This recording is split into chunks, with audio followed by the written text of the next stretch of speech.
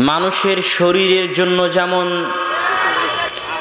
খাদ্যের প্রয়োজন রয়েছে, বেঁচে থাকার জন্য যেমন খাদ্যের প্রয়োজন রয়েছে, তেমনি মানুষের অন্তরকে, মানুষের মনকে জিয়ে রাখার জন্য, বাঁচিয়ে রাখার জন্য মনেরও খাদ্যের প্রয়োজন রয়েছে। দুনিয়ার বুকে যখন আত্মাকে শরীরের অন্তর্ভুক্ত করে মায়ের পেট থেকে দুনিয়ার বুকে পাঠানো হয়, তখন ওই আত্মা ততক্ষণ পর্যন্ত প্রশান্তি পায় না, ততক্ষণ পর্যন্ত শান্তি পায় না, ততক্ষণ পর্যন্ত ওই আত্মা স্থির হয় না, যতক্ষণ না সে আত্মার সাথে তার সৃষ্টিকর্তার সম্পর্ক গড়ে ওঠে। যেমনভাবে সন্তান যদি হারিয়ে যায়, তাহলে ওই সন্তানের যতক্ষণ না পিতার সাথে সাক্ষাৎ হয়, ওই পিতার যতক্ষণ না সন্তানের সাথে সাক্ষাৎ হয়, ততক্ষণ সন্তান যেমন ছটপট করতে থাকে পিতা মাতার সাক্ষাতের জন্য, আত্মাকে যখন দুনিয়াতে পাঠানো হয়, তখন আত্মাও তেমনি ছটপট করতে থাকে। তার মহান রব, তার সৃষ্টিকর্তা আল্লাহ সুবহানাহু তাআলার দিকে ফিরে যাওয়ার জন্য, তার সাথে সম্পর্ক গড়ে তোলার জন্য। আপনি যতদিন আত্মাকে তার প্রতিপালক থেকে দূরে রাখবেন, শয়তানের ওয়াসওয়াসায়, দুনিয়ার লোভে, ততদিন আপনি আপনার ওপর জুলুম করতেছেন। এই জন্য যত গুনাহের কথা আল্লাহ তাআলা বলেছেন, সব গুনাহকে আল্লাহ জুলুম বলেছেন। রব্বি ইন্নি জালামতু নাফসি। হে আল্লাহ, আমি আমার ওপর জুলুম করেছি। রব্বানা জালামনা ফুসানা হে আল্লাহ, আমি আমার ওপর জুলুম করেছি মানে আমার আত্মার উপর অত্যাচার করেছি। সে চায় তার এটাতেই শান্তি যে সে আল্লাহর এবাদত করবে, আল্লাহর জিকির আজকার করবে, আল্লাহর তসবিহ তাহলিল করবে, কিন্তু যখন আমি শয়তানের ওয়াসওয়াসায় দুনিয়ার লোভে সেখান থেকে ফিরে গিয়ে গুনাহে লিপ্ত হয়েছি, তখন আমি আমার নিজের উপর অত্যাচার করেছি। আল্লাহ সুবহানাহু তাআলা কোরআন মাজিদে বলছেন, আলা বিযিক্রিল্লাহি তাতমাইন্নুল কুলুব। দুনিয়ার মানুষ মহান আল্লাহ সুবহানাহু তাআলার স্মরণে, আল্লাহ সুবহানাহু তাআলার জিকিরে মানুষের আত্মা প্রশান্তি পায়, মানুষের আত্মা ঠান্ডা হয়। মহান আল্লাহ সুবহানাহু তাআলার স্মরণে।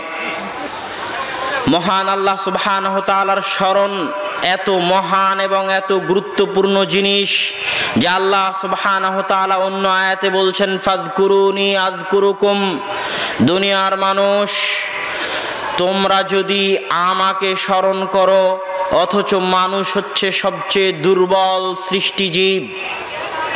মানুষের যদি এখনই অ্যাক্সিডেন্ট হয়, এখনই বিপদ সামনে চলে আসে। ওয়াইদা মাসাহুসারু যখন মানুষের সামনে বিপদ চলে আসে, তখন মানুষ হত বিহব্বল হয়ে যায়। রাস্তা হারিয়ে ফেলে, কি করবে দিশা খুঁজে পায় না। মানুষ অনেক দুর্বল সৃষ্টিজীব। এখনই প্যারালাইজড হয়ে গেলে, এখনই হার্ট অ্যাটাক হয়ে গেলে, এখনই অ্যাক্সিডেন্ট হয়ে গেলে, দুই আড়াই হাত শরীরের এই মানুষের পৃথিবীতে আর কিছু করার থাকে না। সে তখন অনুভব করতে পারে সে কতটা অসহায়, সে কতটা দুর্বল, সে কতটা মুখাপেক্ষী, সে তখন অনুভব করতে পারে। আল্লাহ সুবহানাহু তাআলা এরকম দুর্বল সৃষ্টিজীবকে লক্ষ্য করে বলতেছেন, বান্দা, আমি আল্লাহ সুবহানাহু এই মহাবিশ্ব ব্রহ্মাণ্ডের সৃষ্টিকর্তা, এই মহাবিশ্ব ব্রহ্মাণ্ডের প্রতিপালক। সারা পৃথিবীর আসমান এবং জমিনের মাঝে যা কিছু আছে আমার অধীনস্থ, আমি যা ইচ্ছা তাই করতে পারি, আমি তোমার জিকিরির মুখাপেক্ষী নই। আমি তোমার এবাদতের মুখাপেক্ষী নই। সারা পৃথিবীর সব মানুষ যদি সেজদায় পড়ে থাকে, তারা আল্লাহর বিন্দুমাত্র উপকার করতে পারবে না। আর সারা পৃথিবীর সব মানুষ যদি গুনাহ করে, এতে আল্লাহর বিন্দুমাত্র ক্ষতি হবে না। কেননা আল্লাহ সমাদ, আল্লাহ হচ্ছেন মুখাপেক্ষীহীন। আল্লাহর আমাদের ইবাদতেরও প্রয়োজন নাই, ঠেকা পড়েনি। আল্লাহর আমাদের গুনাহেরও প্রয়োজন নাই। আমরা মুখাপেক্ষী নিজেকে বাঁচানোর জন্য ইবাদত করার। আমরা মুখাপেক্ষী নিজেকে বাঁচানোর জন্য আল্লাহকে স্মরণ করার। তো আল্লাহ সুবহানাহু তাআলা বলছে, বান্দা, তুমি এত দুর্বল সৃষ্টিজীব হওয়ার পরও আর আমি এত মহা ক্ষমতাধর হওয়ার পরও তুমি পৃথিবীর যে কোনায় বসে আফ্রিকার জঙ্গলে বসে আর আটলান্টিক মহাসাগরের অতল গহব্বরে বসে আর বিশাল মরুভূমির ফাঁকা জায়গায় বসে ফাদকুরুনি যদি আমাকে স্মরণ করো আদকুরুকুম তুমি এত দুর্বল সৃষ্টিজীব হওয়ার পরও আর আমি এত মহা ক্ষমতাধর প্রতিপালক হওয়ার পরও সাথে সাথে আমি আল্লাহ তোমাকেও স্মরণ করব। এটা হচ্ছে আল্লাহ সুবহান তালাকে স্মরণ করার গুরুত্ব। এই আয়াতের মূল্য মানুষ দিতে জানে না। মানুষের দেওয়ার সাধ্য নাই। আল্লাহ তাআলা মানুষকে কেন সৃষ্টি করেছে? মানুষকে আল্লাহ তাআলা কি এমনি সৃষ্টি করেছে? আল্লাহ কোরআনে বহু জায়গায় বলেছে যে আমি মানুষকে আবাসান এমনি সৃষ্টি করিনি। একটা ছোট্ট বাচ্চা নদীর ধারে একটা পুতুল তৈরি করল, বালু দিয়ে একটা ঘর তৈরি করল, তারপরে সেই ঘরটা ভেঙে দিল। ওই ঘরটার যেমন কোনো মূল্য নাই, সে যেমন এমনি সৃষ্টি করেছে। আল্লাহ তাআলা মানুষকে এমনি সৃষ্টি করেননি। আপনার জীবনের লক্ষ্য, উদ্দেশ্য আল্লাহ নির্ধারণ করে আপনাকে পাঠিয়েছেন। ওয়ামা খালাক্তুল জিন্নাওয়াল ইংসা ইল্লা লিয়াবুদুন। আমি মানুষ এবং জিনকে সৃষ্টি করেছি আমার এবাদতের জন্য। তথা আপনার সকাল থেকে সন্ধ্যা পর্যন্ত, জন্ম থেকে মৃত্যু পর্যন্ত আপনার একটাই কাজ, সেটা হচ্ছে আপনি আল্লাহর এবাদত করবেন, আল্লাহর জিকির আজগার করবেন, আল্লাহর তাসবি তাহলিল করবেন, এই জন্যই আপনাকে দুনিয়াতে পাঠানো হয়েছে। তাহলে বলবেন এগুলো কাজবাজের কি হবে? বেঁচে থাকা লাগবে তাই খাওয়া লাগবে। খাওয়া লাগবে, তাই ইনকাম করা লাগবে। যদি আমি ইনকাম না করি, তাহলে খেতে পাবো না। খেতে না পারলে বেঁচে থাকতে পারব না। আর বেঁচে থাকতে না পারলে আল্লাহর ইবাদত করতে পারব না। আর বেঁচে থাকতে না পারলে আল্লাহর ইবাদত করতে পারব না। তো আমার মূল উদ্দেশ্য হচ্ছে আমি আর আল্লাহর ইবাদত করা। আর মধ্যেখানে যে কাজ করতেছেন ইনকাম করতেছেন, এগুলো হচ্ছে অপশনাল বেঁচে থাকার জন্য। আমি জানি না আমি আপনাদেরকে বুঝাতে পারতেছি কিনা, আপনাদের নিকটে স্পষ্ট কিনা আমার কথা, আমার এবং আপনাকে আল্লাহ সুবাহান তালার সৃষ্টিকর্তার পিছনে, সৃষ্টি করার পিছনে একটাই উদ্দেশ্য যে আমরা চব্বিশ ঘণ্টা আল্লাহ সুবাহান তালাকে স্মরণ করব, তার জিকির করব, তার জন্য সালাত আদায় করব, তার ইবাদত করব, এই জন্যই আল্লাহ সৃষ্টি করেছেন। কিন্তু আল্লাহ জানেন যে আমার বান্দা এতক্ষণ এই চব্বিশ ঘণ্টা দিন রাত জন্ম থেকে মৃত্যু পর্যন্ত আমার ইবাদত করতে পারবে না। এটা আল্লাহ জানেন। এই জন্য আল্লাহ সুবাহান তালা বলছেন, বান্দা, আমি জানি তুমি দিন রাত চব্বিশ ঘণ্টা এবাদত করতে পারবে না। আমি জানি তুমি জন্ম থেকে মৃত্যু পর্যন্ত ইবাদত করতে পারবে না। তবে একটা জিনিস জেনে রাখো, অন্তত পক্ষে কমসে কম যে কোনো মূল্যে যদি আমার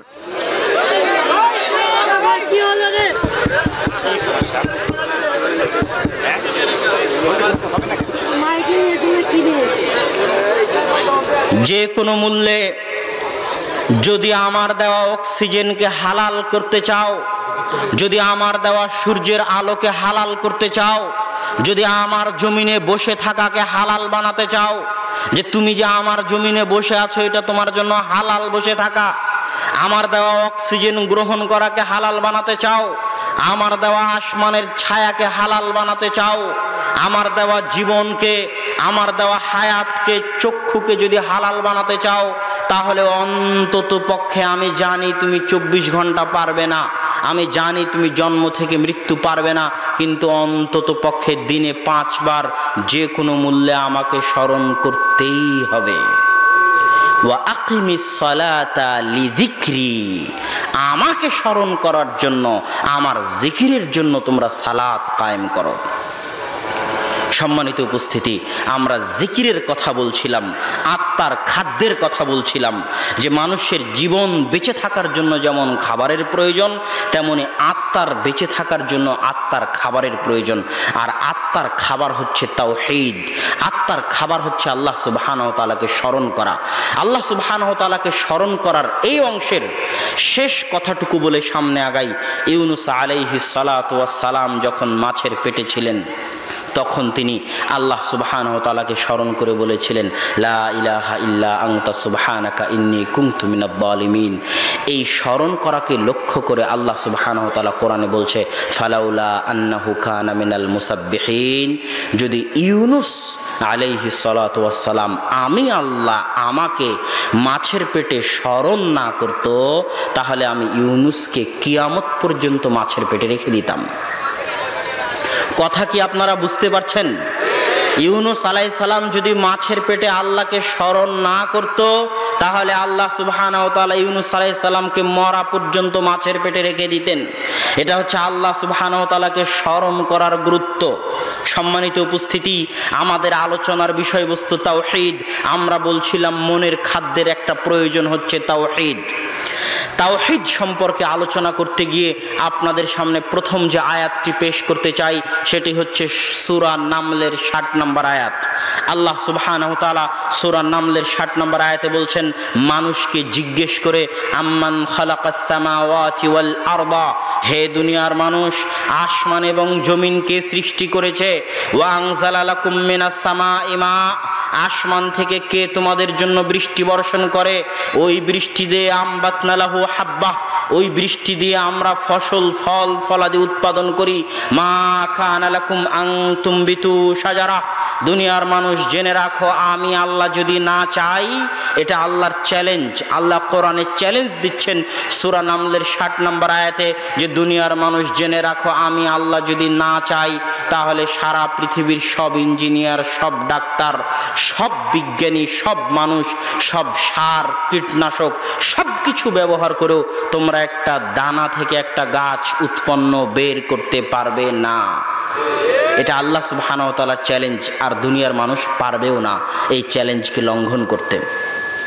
তারপরে আল্লাহ তাআলা জিজ্ঞেস করছেন, আ ইলাহুম্মা আল্লাহ। যদি আসমান জমিনের সৃষ্টিকর্তা আমি আল্লাহ হই, যদি আসমান থেকে বৃষ্টি বর্ষণকারী আমি আল্লাহ হই, যদি গাছ, ফল, ফলাদি উৎপাদনকারী আমি আল্লাহ হই, তাহলে বলো তো দুনিয়ার মানুষ, ইলাহ হওয়ার যোগ্য কে? আমি ব্যতীত আর কি কোনো ইলাহ থাকতে পারে? এরপরে আল্লাহ সুবহান একষট্টি নম্বর আয়াতে বলছেন, দুনিয়ার মানুষ, আম্মাং জাহালাল আরবা কারারা পৃথিবীকে শূন্যে কে স্থির করেছেন? আপনি শূন্যে কোনো জিনিস রাখতে পারবেন না, যা রাখা মাত্রই পড়ে যাবে। আল্লাহ সুবহান বিশাল পৃথিবীকে শূন্যে স্থির করে রেখেছেন। আল্লাহ কোরআনে বলছেন, দুনিয়ার মানুষ, বলো তো, এই পৃথিবীকে শূন্যে কে স্থির করেছে? এইভাবে আল্লাহ সুবহান বলতে থাকছেন, পৃথিবীর মধ্যে রওয়াসিয়া পেরেক, পাহাড়গুলোকে পেরেক স্বরূপ, পৃথিবীর ওজনের ভারসাম্য রক্ষা করার জন্য পাহাড়গুলোকে পেরেক স্বরূপকে স্থাপন করেছে। ওজা আলাবাইনাল বাহারাইনে হাজা দুই সমুদ্রের মাঝে, দুই নদীর মাঝে পার্থক্য সৃষ্টিকারী কে স্থাপন করেছে? নদীর পানি সমুদ্রে গিয়ে মিললেও সমুদ্রের পানির স্বাদ লবণাক্ত আর নদীর পানির স্বাদ মিষ্টি, অথচ তারা পাশাপাশি চলতেছে। এই দুই নদী, দুই সমুদ্রের মাঝে পার্থক্য কে সৃষ্টি করে রেখেছে? আল্লাহ জানেন যে দুনিয়ার মানুষ এগুলো সব প্রশ্নের উত্তর দিবে যে আল্লাহ আপনি। আল্লাহ জানেন। এই জন্য আল্লাহ পরে বলতেছেন যে দুনিয়ার মানুষ আমি জানি এগুলো সব প্রশ্নের উত্তর তোমরা দিবে যে আল্লাহ আসমান জমিনের সৃষ্টিকর্তা আপনি। আল্লাহ সুবহানাহু তাআলা সূরা আনকাবুতে স্পষ্ট ভাষায় বলেছে, ওয়ালা ইন আলতাহুম হে আল্লাহর রাসূল, আপনি যদি তাদেরকে জিজ্ঞেস করেন, মান খালাকাস সামাওয়াতি ওয়াল আরদা আসমান জমিন কে সৃষ্টি করেছে, তাহলে ইহুদি খ্রিস্টানরা এক বাক্যে বলবে যে আসমান জমিন আল্লাহ সৃষ্টি করেছে। আর এটা সত্য। এখনও যদি আপনি কোনো ইহুদি, কোনো খ্রিস্টানকে জিজ্ঞেস করেন, আসমান, জমিন, নদী, নালা, খাল, বিল, পাহাড়, পর্বত, গাছপালা কে উৎপন্ন করে, কে সৃষ্টি করে, সে বলবে আল্লাহ সুবাহান তালা এটা আল্লাহ জানেন। জানার পরে আল্লাহ সুবাহান তালা বলতেছেন, দুনিয়ার মানুষ সবই যখন আমি করি, আ ইলাহুম্মা আল্লাহ তাহলে বলো তো আমি ব্যতীত আর কি কেউ ইলাহ হওয়ার যোগ্য? এটা আল্লাহ সুবাহান তালার জিজ্ঞাসা। এখান থেকে আমি আপনাকে কি বলতে চাচ্ছি? এখান থেকে আমি আপনাকে বলতে চাচ্ছি, এই আয়াতের মধ্যে আল্লাহ সুবাহান তালা পার্থক্য করে দিয়েছেন যে তাওহিদদের প্রকার আছে। আল্লাহ সুবাহান তালাকে তাওহিদুর রুবুবিয়া মানে আল্লাহ সুবাহান তালাকে রব হিসেবে মানা। তাওহিদুল উলুহিয়া মানে আল্লাহ সুবাহান তালাকে ইলা হিসেবে মানা। আল্লাহ সুবাহান তালাকে রব হিসেবে দুনিয়ার সবাই মানে। আল্লাহকে আসমান জমিনের সৃষ্টিকর্তা হিসেবে সবাই মানে। আল্লাহকে রিজিক দাতা হিসেবে সবাই মানে। আল্লাহ সুবহানাহু তাআলা বহু জায়গায় তিনি যে রিজিক দাতা তার ব্যর্থহীন কণ্ঠে ঘোষণা করেছেন যে আল্লাহ সুবহানাহু তাআলা হচ্ছেন রিজিক দাতা আপনি কি বিশ্বাস করেন আল্লাহ রিজিক দাতা যদি বিশ্বাস করে থাকেন, তাহলে ওই কথাকে কীভাবে বিশ্বাস করেন যে ছেলে হোক, মেয়ে হোক, দুটি সন্তানই যথেষ্ট, একটি হলে আরও ভালো? যদি আল্লাহকে রিজিক দাতা হিসেবে বিশ্বাস করেন, তাহলে এই কথাকে কেমনে বিশ্বাস করেন?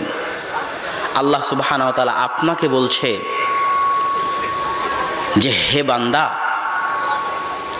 আমি লা তাকতুলু আউলা দেখুম ইমলাক। তোমরা দারিদ্রতার ভয় তোমাদের সন্তানকে হত্যা করিও না। কেন?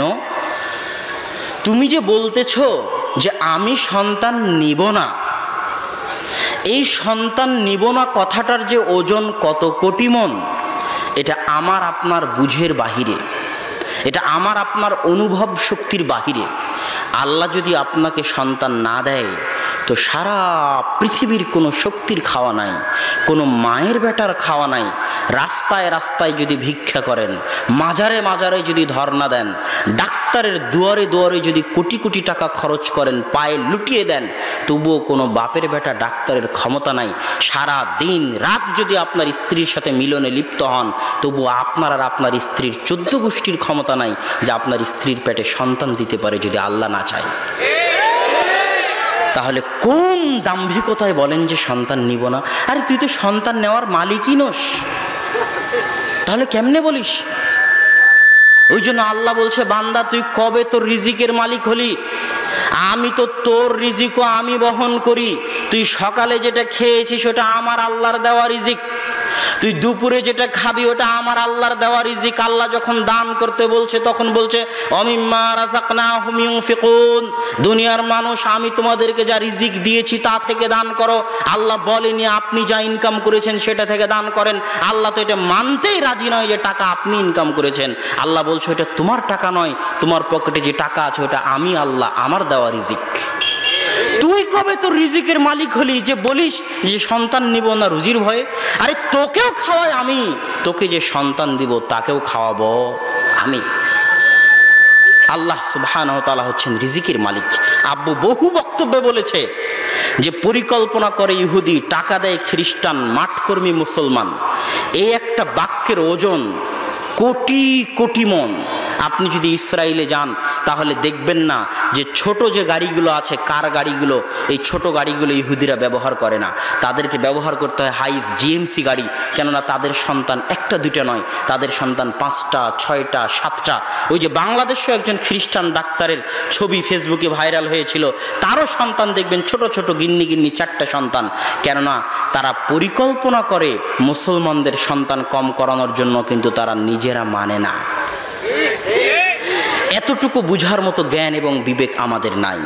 বলছিলাম যে আল্লাহ সুবহানহ তালাকে রব হিসেবে মানা মানে আল্লাহ সুবহানহ তালাকে রিজিক দাতা হিসেবে মানা, আল্লাহ সুবহানহ তালাকে সৃষ্টিকর্তা হিসেবে মানা, আল্লাহ সুবহানহ তালাকে প্রতিপালক হিসেবে মানা। আর যে আল্লাহকে রব হিসেবে মানে তারা সবাই যে আল্লাহকে ইলা হিসেবে মানে তা কিন্তু নয়।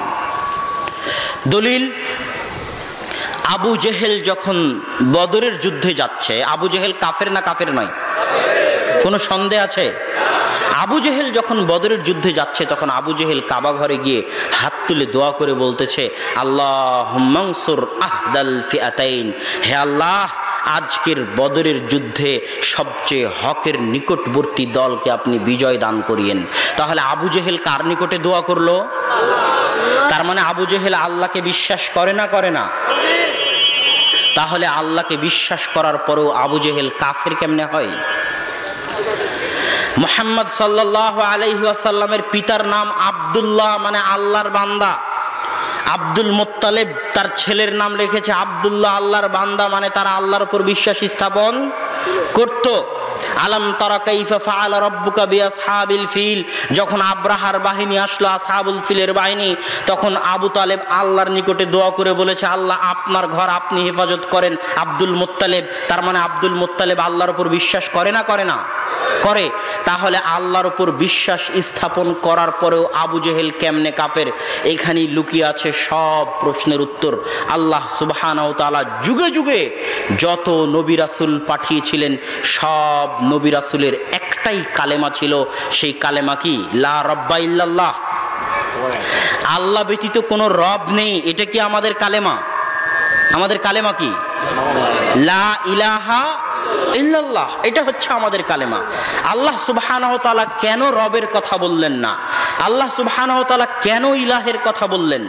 সূরা আরাফের 59 নম্বর আয়াত খুলেন। সূরা আরাফের 65 নম্বর আয়াত খুলেন। আল্লাহ নবীদের নাম ধরে ধরে বলছে, লাকাদ আরসালনা নূহান ইলা কওমি আমি নূহকে পাঠিয়েছিলাম তার জাতির নিকটে। নূহের একটাই দাওয়াত ছিল, উবুদুল্লাহ। মালাকুম মিন ইলাহিন গায়রু আল্লাহর ইবাদত করো, আল্লাহ ব্যতীত কোনো ইলাহ নেই। আমি কাকে পাঠিয়েছিলাম? আমি হুদকে পাঠিয়েছিলাম, আখাহুম আদ। আমি আদ জাতির নিকটে আখাহুম হুদ। তাদের ভাই হুদকে পাঠিয়েছিলাম, তারও একই দাওয়াত ছিল। এইভাবে আল্লাহ সুবহানাহু তাআলা সকল নবীর নাম নিয়ে বলছেন, আমি সামুদ জাতির নিকটে সালেহ আলাই সালাতামকে পাঠিয়েছিলাম। আমি মাদাইন জাতির নিকটে সোয়াইব আলাই সালাতামকে পাঠিয়েছিলাম। সুরা আরাফে এক সিরিয়ালে উনষাট থেকে নিয়ে পঁচাশি নম্বর আয়াত পর্যন্ত সব নবীর নাম নিয়ে নিয়ে বলছেন যে তাদের একটাই দাওয়াত ছিল, মা আলাকুমিন ইলাহিন গায়রু দুনিয়ার মানুষ, আল্লাহ ব্যতীত তোমাদের কোনো ইলাহ নেই। আল্লাহ সুবহানাহু ওয়া তাআলা সূরা আম্বিয়ার 25 নম্বর আয়াতে বলছেন ওমার সালনা মিন ক্বাবলিকা মির রাসূলিন ইল্লা নূহি ইলাইহি হে আল্লাহ রাসূল, আপনার পূর্বে যত নবী রাসুল আমি দুনিয়াতে পাঠিয়েছি, সব নবী রাসূলের একটাই দাওয়াত ছিল যে আল্লাহ ব্যতীত কোনো ইলাহ নেই তথা কোনো নবী রাসূলই আল্লাহকে রব হিসেবে মানার জন্য দাওয়াত দেননি। কেননা প্রত্যেক যুগে যত কাফের সম্প্রদায় ছিল, তারা সবাই আল্লাহকে রব হিসেবে মানত। একমাত্র নাস্তিকরা ছাড়া আজকের পৃথিবীতেও ইহুদি, খ্রিস্টান, বৌদ্ধ, হিন্দু সকল ধর্মের মানুষ আল্লাহ সুবহান তালাকে রব হিসেবে মানে কিন্তু ইলা হিসেবে মানে না। এখনও কি আপনি বুঝতে পেরেছেন রব এবং ইলাহের পার্থক্য কি? এখনও বুঝেননি। আর একটু শোনেন, আল্লাহ সুবহানাহু তাআলা সূরা ইউসুফের 106 নম্বর আয়াতে বলছেন, আশ্চর্যজনক কথা, ওয়ামা ইউমিনু আকসারুহুম বিল্লাহ ইল্লা ওয়াহুম মুশরিকুন। দুনিয়ার অধিকাংশ মানুষ, আমি আল্লাহ আমার প্রতি ঈমান আনয়ন করার পরেও মুশরিক। দুনিয়ার অধিকাংশ মানুষ, আমি আল্লাহ, আমাকে আমার প্রতি বিশ্বাস স্থাপন করার পরেও মুশরিক। এই কথা আল্লাহ সুবাহানতালা বলছেন। আর এটা বাস্তব। এখনও বাংলাদেশের আশি থেকে নব্বই পার্সেন্ট মানুষ আল্লাহকে রব হিসেবে মানে ঠিকই, কিন্তু আল্লাহকে ইলা হিসেবে মানে না। তারা ইমান আনয়ন করার পরেও মুশরিক। সম্মানিত উপস্থিতি। রব শব্দের শাব্দিক অর্থ হচ্ছে তার বিয়া লালন পালন করা। মা যেমন সন্তানকে কোলে পিঠে লালন পালন করে, আল্লাহ তেমনি আপনাকে সূর্যের আলো, অক্সিজেনের বাতাস, খাবার, রুহ, আত্মা, সার্বিক কিছু দিয়ে আল্লাহ আপনাকে লালন পালন করে। এই জন্য আল্লাহ রব, আল্লাহ তাআলা রব্বুল আলামিন, আলহামদুলিল্লাহ রব্বিল আলামিন মানে আসমান, জমিন, ইহজগৎ পরকাল এবং তার মাঝে যা কিছু আছে, সকলের রব হচ্ছেন আল্লাহ। ইহুদিরও রবকে নাস্তিককে খাওয়ায় কে? যে আল্লাহকে গালি দেয় ওকেও খাওয়ায় কে? আল্লাহ হচ্ছেন রব্বুল আলমিন। এই জন্য যত দোয়া শুরু হয়েছে, সব দোয়াতে আল্লাহ সুবাহতাল্লাহ রব দিয়ে শুরু করেছেন। রব্বানা আতিনা ফিদ্দুনিয়া হাসানা তম ওফিল আখেরাতি হাসানা ওয়াকিনা আদাবান্না রব দিয়ে শুরু করেছেন। রব্বির হাম হুমা কামা রব্বায়ানি সগীরা। রব্বি সিদিনি ইলমা। রব্বানা বলামনা অংফুসানা ওয়া ইল্লাম তাগফির লানা ওয়া তারহামনা লানাকুনান্না মিনাল খাসিরিন। এটা হচ্ছে রব। ইহুদিরও রব, খ্রিস্টানেরও রব, যে নামাজ পড়ে না তারও রব, যে আল্লাহকে গালি দেয় তারও রব, সকলের রব। সকলের প্রতিপালক, সকলের পালনকর্তা, সকলের রিজিক দাতা আসমান এবং জমিন এবং তার মাঝে যা কিছু আছে সেটা হচ্ছেন রব্বুল আলমিন, আল্লাহ সুবাহান তালা কিন্তু তিনি সকলের ইলাহ নন কেন? সবাই আল্লাহকে ইলাহ হিসেবে মানে না। এই জায়গাতেই আল্লাহ সুবাহান তালার কষ্ট। এই জন্য যুগে যুগে তিনি রাসুল পাঠিয়েছেন যে মানুষ আমাকে রব হিসেবে মানে তো ঠিকই, কিন্তু ইলাহ হিসেবে আমাকে মানে না। রাসুলরা তোমরা যাও, মানুষকে একটু শিখাও যে যিনি রব একমাত্র তিনি ইলাহ। যিনি খাওয়ায় একমাত্র এবাদত পাওয়ার যোগ্য তিনি। যিনি রিজিক দাতা একমাত্র সিজদা পাওয়ার যোগ্য তিনি। ইলাহ শব্দের শাব্দিক অর্থ হচ্ছে আলী হায়া আলাহু, বিপদে আপদে পড়ে মানুষ যার দিকে ফিরে যায়, তাকে বলে ইলাহ। দুঃখ কষ্টে পড়ে মানুষ যার নিকটে আশ্রয় খুঁজতে চায়, তাকে বলে ইলাহ। অথই সমুদ্রে যখন মানুষ হাবুডুবু খায়, একটা নাস্তিকের বাচ্চাও যদি অথই সমুদ্রে পড়ে হাবুডুবু খায়, বাঁচার কোনো উপায় না থাকে, তাহলে তখনও সে একজনের নিকটে ফিরে যেতে চায়, যার নিকটে আশ্রয় খুঁজে পেতে চায়। ওই আশ্রয় খুঁজে পাওয়া সত্তার নামই হচ্ছে ইলাহ। সম্মানিত উপস্থিতি, রব এক জিনিস, ইলাহ এক জিনিস। রব আমি এবং আপনি সারা পৃথিবীর আশি নব্বই পার্সেন্ট মানুষ আল্লাহকে রব হিসেবে মানতে রাজি ইলা হিসেবে মানে না কেন, কি করে? যখন সন্তানের প্রয়োজন হয়, তখন চলে যায় শাহজালালের মাজারে, শাহ মখদুমের মাজারে মানে সে আল্লাহকে রব হিসেবে মানে ঠিকই, আল্লাহকে ইলা হিসেবে মানে না। হাতে গলায় তাবিজ ঝুলিয়ে রেখেছে, সে আল্লাহকে রব হিসেবে মানে ঠিকই, কিন্তু আল্লাহকে ইলা হিসেবে মানে না। হাত থেকে থালি পড়ে গেল, মেহমান আসবে, রাস্তা দিয়ে বিড়াল অতিক্রম করল, অশুভ কিছু আছে, এই জাতীয় যত কথা আছে, কালো টিপ দিয়ে রাখো, বদনজর যাতে না লাগে, এগুলো সবই প্রমাণ করে, সে আল্লাহকে রব হিসেবে মানে ঠিকই, আল্লাহকে ইলা হিসেবে মানে না।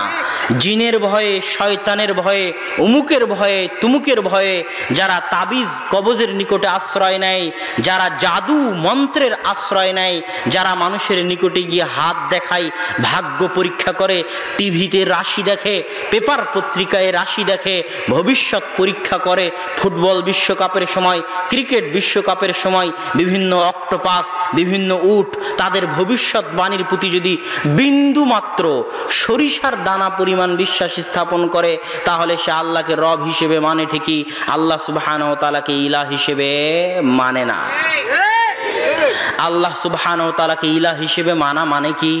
আল্লাহ সুবাহান তালা চাইলে বলতে পারতেন যে, আন্নাল্লাহ ইলাহ। নিশ্চয় আল্লাহ হচ্ছেন ইলাহ। আল্লাহ চাইলে বলতে পারতেন, আল্লাহ ইলাহ। আল্লাহ হচ্ছেন ইলাহ। এই দুটো বাক্যই আরবিতে শুদ্ধ। এই দুটো বাক্যের মধ্যে আরবি গ্রামারগত কোনো ভুল নাই। অথচ দুইটা বাক্য ছোট। আল্লাহ চাইলে এতটুকুই বলতে পারতেন। আমরা সাক্ষ্য দিতাম এভাবে যে, আশহাদু আন্নাল্লাহ ইলা আমি সাক্ষ্য দিচ্ছি যে, আল্লাহ হচ্ছেন ইলা বা এভাবে বলতাম, আশহাদু আল্লাহ ইলা আমি সাক্ষ্য দিচ্ছি যে, আল্লাহ হচ্ছেন ইলা কিন্তু আল্লাহ এভাবে শিখাননি। আল্লাহ বাক্য বড় করে দিয়ে বলছেন, লা ইলাহা ইল্লাল্লাহ। এই বড় বাক্যের পিছনে রহস্য আছে। এই বাক্যের ওজন এত, এই বাক্যের ওজন এত যে সারা পৃথিবীর সকল বাতিল শক্তিকে পরাস্ত করার জন্য এই এক কালেমাতুত্তাওহিদ যথেষ্ট। যদি মুসলমান এই কালেমাতুত্তাওহিদকে অনুভব করতে পারে, বুঝতে পারে, তাহলে যথেষ্ট। এই লাইলাহ ইল্লাল্লাহ উদযাপন করতাম। যদি এটা বলার সুযোগ থাকতো যে আল্লাহ হচ্ছেন ইলাহ। যখন আল্লাহ বললেন, লা ইলাহা ইল্লাল্লাহ তার মানে হচ্ছে দুনিয়ার মানুষ। লা ইলাহা নেই কোনো ইলাহ। মানে যত জনকে তুমি ইলাহের সম্মান দিতে চাও, ইলাহের মর্যাদা দিতে চাও, সে যেই হোক, সে কবর হোক, মাজার হোক, পূজা হোক, তাবিজ হোক, কবজ হোক, দিবস হোক, দিন হোক, স্থান হোক, জায়গা হোক, কাল হোক যা কিছু হোক যাদেরকে তুমি ইলাহের সরিষার দানা পরিমাণ মর্যাদা দিতে চাও, এটাও কিন্তু অনুভব করতে হবে। শিরকের এর মধ্যেই শির্ক চলে আসবে।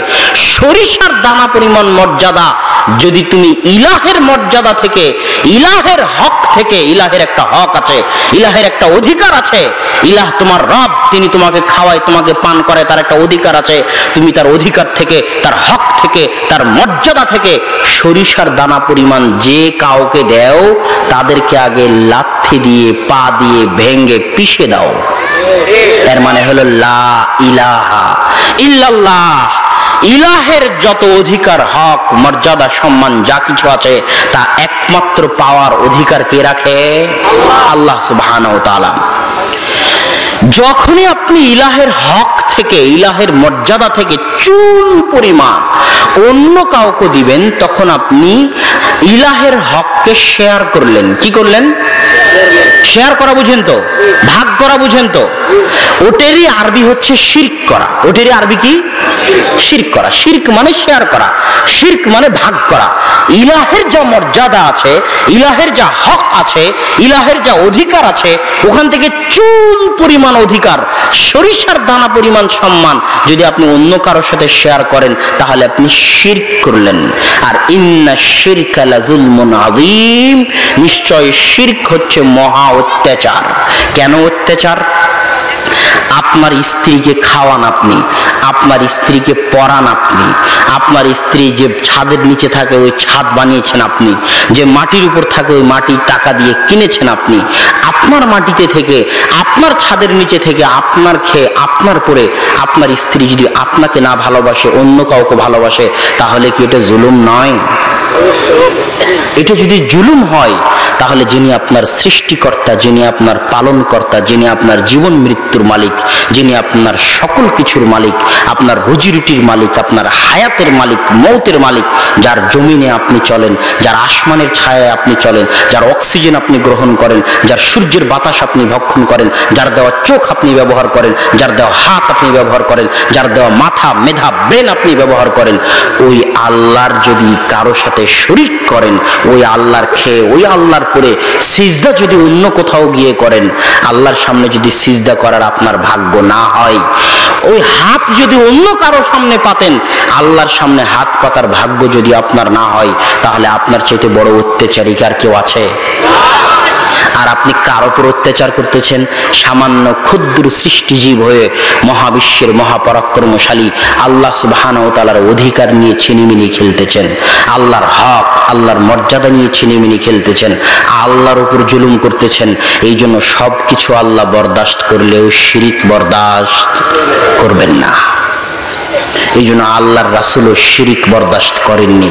কেননা শিরকে আল্লাহ কষ্ট পান, শিরকে মমিন কষ্ট পায়, শিরকে আল্লাহর রাসুল কষ্ট পায়।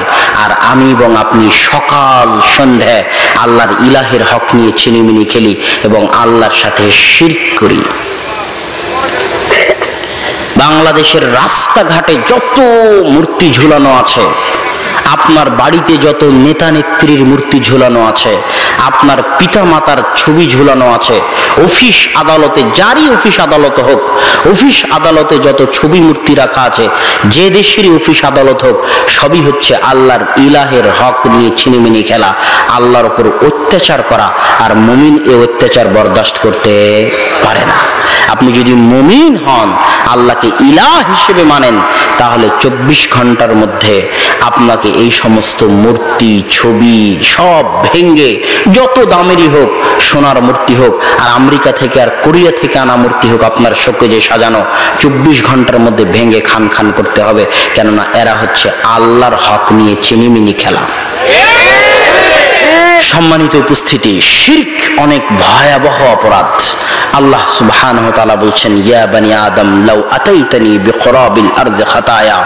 হে আদম সন্তান, যদি কিয়ামতের মাঠে আসমান জমিন ভর্তি গুনাহ নিয়ে উপস্থিত হও, আর তার মধ্যে শির্ক না থাকে, তাহলে আমি আল্লাহ আসমান জমিন ভর্তি ক্ষমা নিয়ে উপস্থিত হব।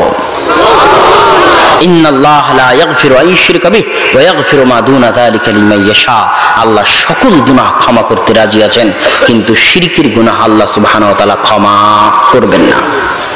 আর আমাদের দেশের মুসলমানদের অবস্থা কত নিম্ন পর্যায়ের যে জওহরলাল নেহেরু কংগ্রেসের নেতা ভারত স্বাধীনতা আন্দোলনের নেতা ইন্দিরা গান্ধীর পিতা জওহরলাল নেহেরু বলতেছে, যখন আজাদি স্বাধীনতা আন্দোলনের সময় মুসলমানেরা বলতেছে, আমাদের আলাদা দেশ চাই পাকিস্তান। তখন জওহরলাল নেহেরু বলতেছে, তোমরা আলাদা দেশ দিয়ে কি করবা?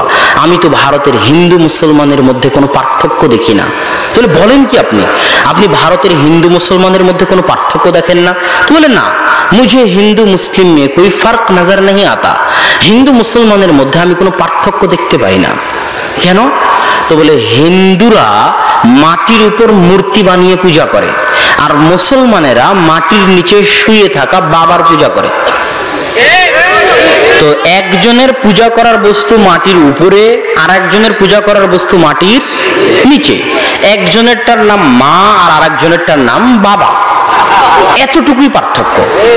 এর বাইরে তো আমি মুসলমানদের আর হিন্দুদের মধ্যে কোনো পার্থক্য দেখতে পাই না। আর এটা বাস্তবতা।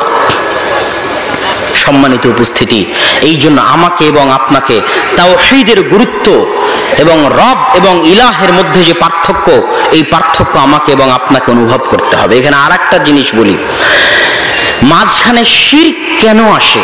শির্ক কেন তৈরি হয়?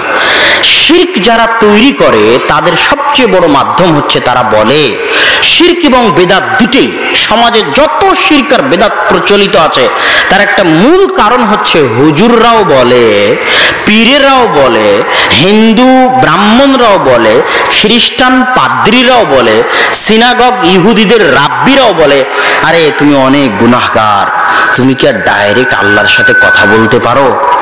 তুমি কি আর ডাইরেক্ট আল্লাহর কাছে চাইতে পারো? আল্লাহর কাছে কিছু বলতে হলে মাধ্যম লাগবে। আল্লাহর কাছে কিছু বলতে হলে লিংক লাগবে। প্রধানমন্ত্রী হাসিনার সাথে কি ডাইরেক্ট যোগাযোগ করা যায়? মাধ্যম ধরা লাগে, ওয়াস্তা ধরা লাগে। এই জন্য আপনাদের এলাকায় দেখবেন যে হুজুরকে ডেকে নিয়ে আসা হবে দোয়া করানোর জন্য। আছে না নাই? জানাজার সালাত শেষ হয়ে যাবে, তারপরে কবরে গিয়ে যদি হুজুর দোয়া না করে, তাহলে বলবে যে হুজুর ভালো না, হুজুর দোয়া করল না। না এরকম আপনাদের এলাকায়? তো আমি আসতেছি লিঙ্ক ভাইয়ার কথায়। এখানে একটা কথা বলে নেই, দোয়া সম্পর্কে। যে দোয়া করার সবচেয়ে বড় মাধ্যম হচ্ছে সালাত। রাসুল সাল্লাহ আলহি ওয়াসাল্লাম যখনই বিপদে পড়তেন, তখনই বা দাঁড়াইলা সালাহ, সালাতে দাঁড়িয়ে যেতেন কিসের জন্য? দোয়া করার জন্য। সারা আলাইহা সালাত সালাম যখন জালেম বাদশার কবলে বিপদে পড়লেন, তখন উদ্ধারের জন্য সালাতে দাঁড়িয়ে গেলেন। কিসের জন্য? আল্লাহর কাছে দোয়া করার জন্য। আর বান্দা আল্লাহর সবচেয়ে নিকটবর্তী থাকে যখন সিজদায় থাকে। আর সালাত শব্দের শাব্দিক অর্থ হচ্ছে দোয়া। সালাত শব্দের শাব্দিক অর্থ কি? দোয়া। তাহলে আল্লাহ আকবর থেকে নিয়ে আসসালাম আলাইকুম রহমতুল্লাহ পর্যন্ত সবই শুধু দুয়ার জায়গা। কিসের জায়গা? দুয়ার জায়গা। সালাম ফিরানোর আগে যত ইচ্ছা তত দোয়া করেন। সিজদায় গিয়ে দোয়া করেন, রুকুতে গিয়ে দোয়া করেন, দুই সিজদার মাঝে দোয়া করেন। এবার সালাম যখন ফিরলেন, তখন কি শেষ হয়ে গেল? দোয়া শেষ হয়ে গেল।